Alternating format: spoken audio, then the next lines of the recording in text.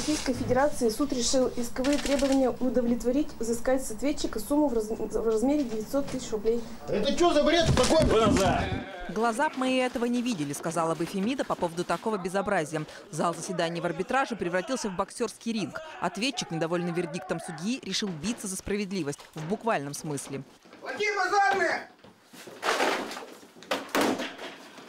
Такому актерскому составу позавидовал бы любой кинорежиссер. Чужие роли участники примерили на себя ради учений.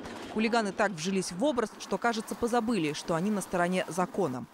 12.33. В зале номер 7 попытка захвата судьи. Роль судьи и Буянов играют судебные приставы. Так они тренируются на всякий чрезвычайный случай. Сегодня он еще и пожарный. По легенде, нападающие сумели пронести в зал бутылки с зажигательной смесью. Судье передайте! Сжав суд! Судья Ольга Яковлева на самом деле пристав, но ради учений впервые примерила мантию. Все сработано очень быстро. Ну и слажено. То есть вы не успели испугаться? Нет. И это несмотря на то, что ждать группу быстрого реагирования пришлось довольно долго, около получаса. А вот сам штурм прошел за несколько секунд.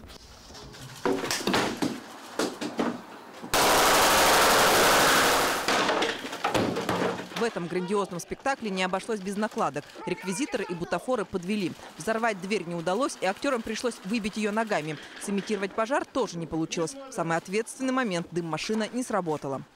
Ну, кое-где теряются работники, кое-где как бы не знают, не совсем понимают, как действовать. Но, в принципе, в целом, в общем, я доволен. Учебную постановку приставов их руководство оценит позже. Но уже сейчас участникам обещают, свою порцию критики получат все. Анжела Брик, Руслан Шарафуддинов. Новости 41 канала.